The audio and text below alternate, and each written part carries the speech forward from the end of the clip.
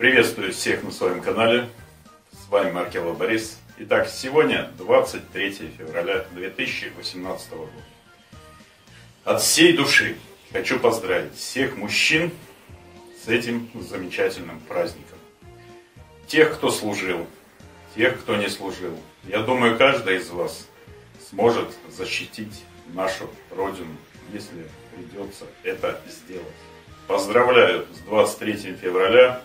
Желаю счастья, здоровья, успехов и удачи во всем. На этом заканчиваю. Всем привет.